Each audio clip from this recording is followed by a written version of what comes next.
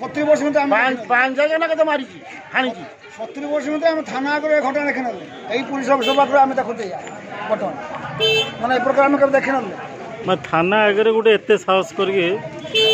থানা আগে সম্ভব কথা মানে আমার সত্তর বর্ষ হল কিন্তু ঘটনা থানা আগে আমি দেখে নেলি पारिवारिक समस्याको नै करुण परिणति स्त्रीको कटुरीले हाणिला स्वामी गुरुतर अवस्थाले मेडिकलले भर्ती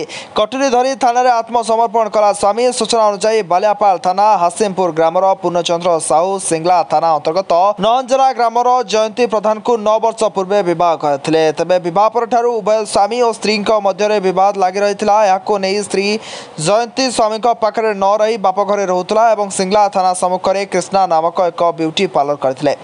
ଏହି ଘଟଣାକୁ ନେଇ ପୂର୍ବରୁ ଉଭୟ ବାଲିଆପାଳ ଏବଂ ସିଂଲା ଥାନାରେ ପୃଥକ ପୃଥକ ମାମଲା ରହିଛି ଆଜି ସ୍ୱାମୀ ପୂର୍ଣ୍ଣଚନ୍ଦ୍ର ଏକ କଟୁରୀ ଧରି ବିୟୁଟି ପାର୍ଲର ପହଞ୍ଚି ଅତର୍କିତ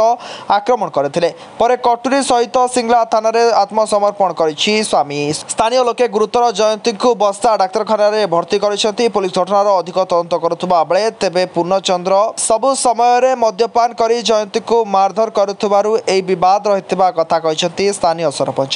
ବାଲେଶ୍ୱର ଜିଲ୍ଲା ବସ୍ତାରୁ ଗୋପୀକୃଷ୍ଣ ପଣ୍ଡାଙ୍କ report ought to be in news